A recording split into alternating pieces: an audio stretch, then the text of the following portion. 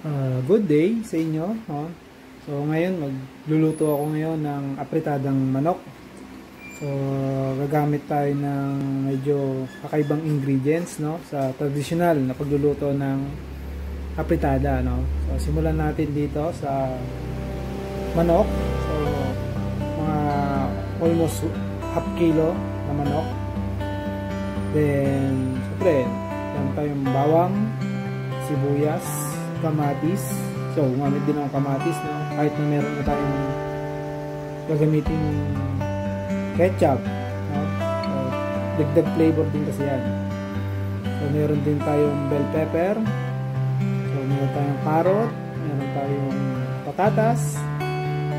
Sa mga pampalasa, meron tayong asukal. Meron tayong paminta. Yan, dalawang klase paminta. May buo na, ako, o dinurog, yan. Tapos, meron tayong oyster sauce, meron tayong chicken cube, saka dalawang klaseng ketchup, no? So, isang UFC banana ketchup, so parang pamalit natin yan sa tomato sauce. Then, itong Del Monte original lang, no? Parang ito ipapalit ko sa tomato paste. So, yun. Start tayo magluto. Ito nga pala yung gagamitin kong mantika ulit. Lagyan na natin.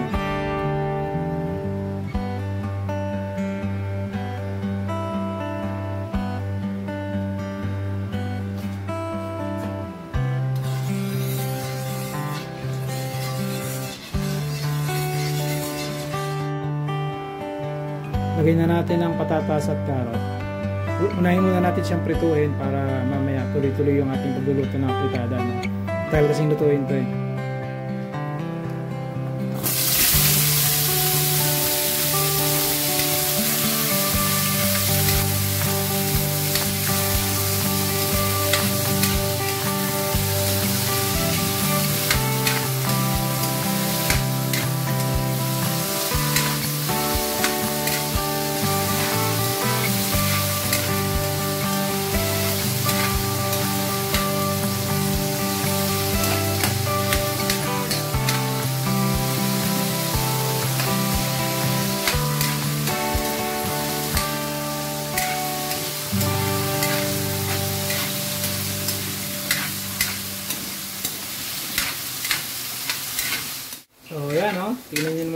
Ating patatas at carrot.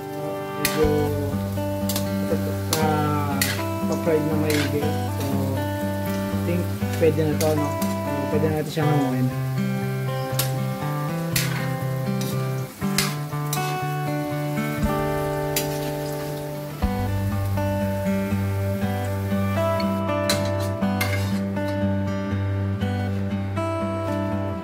Lagay na natin ang bawang.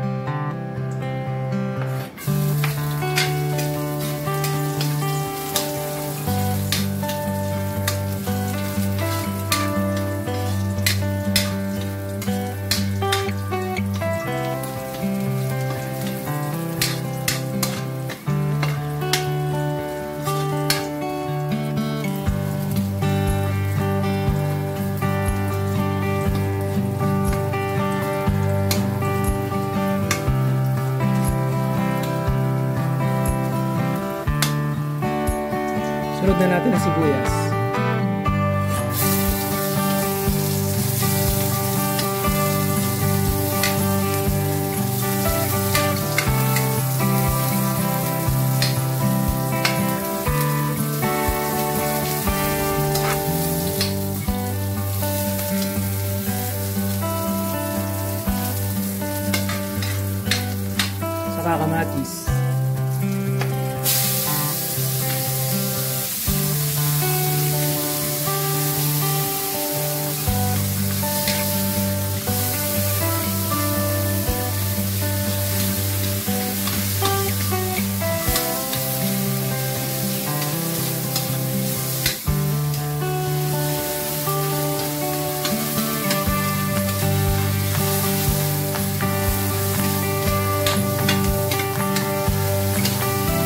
Chile.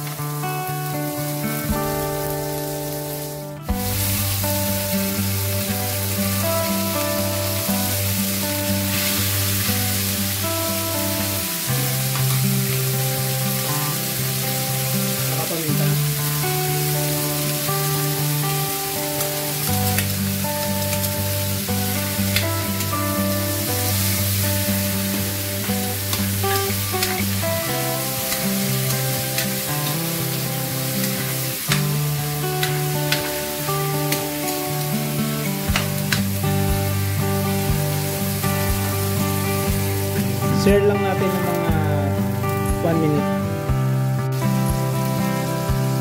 Then, lagyan natin ng tubig. Mga isa't kalating basong tubig. Tapos, hintay lang natin siya tumulo so, para maluto natin masyado yung ating ano. Then, lagyan natin ng oil.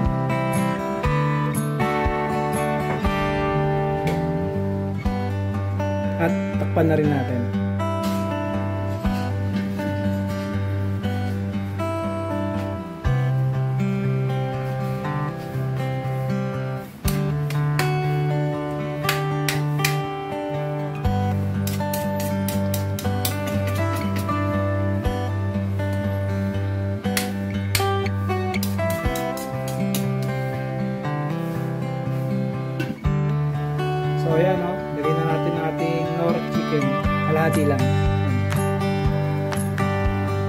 Then takpan ulit natin. Mga papakuluan natin ito mga around ah, 8 to 10 minutes. No?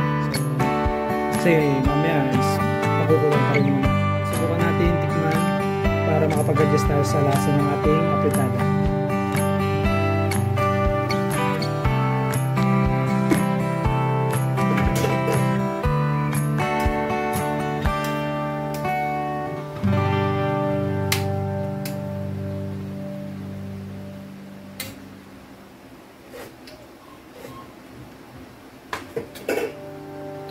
Dagdagan natin ng patis.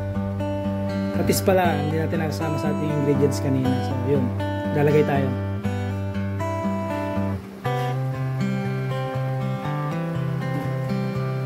At sunod na natin ang ating Del Monte.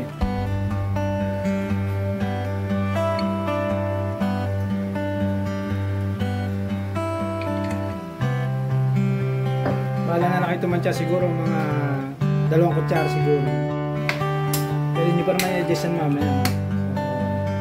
So, na bahala.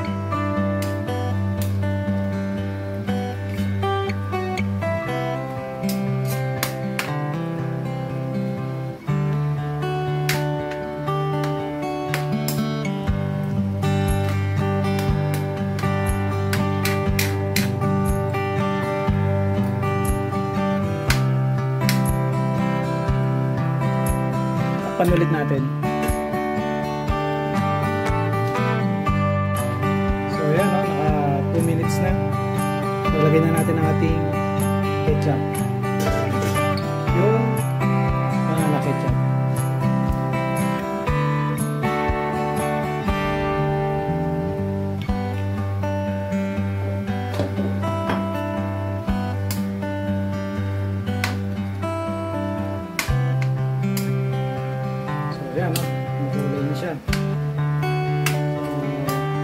Pwede na lang natin sabay yung ating patatas.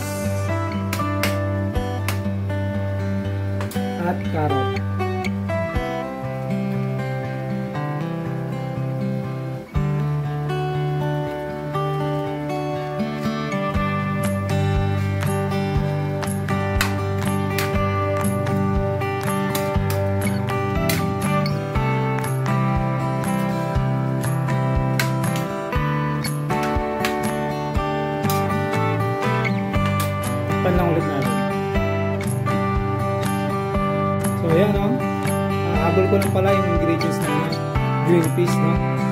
So, sige natin.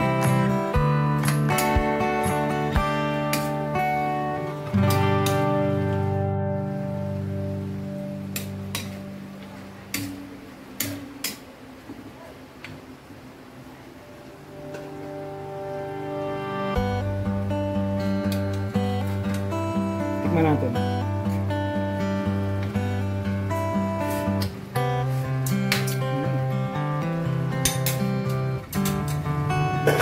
Lagay ko na yung oyster.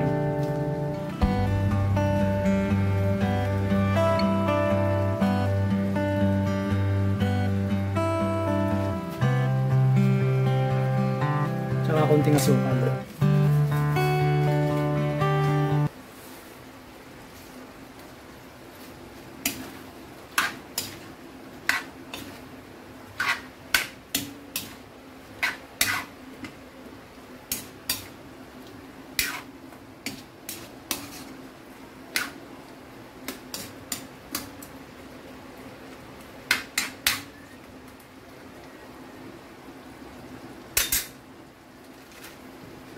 Takpan na natin.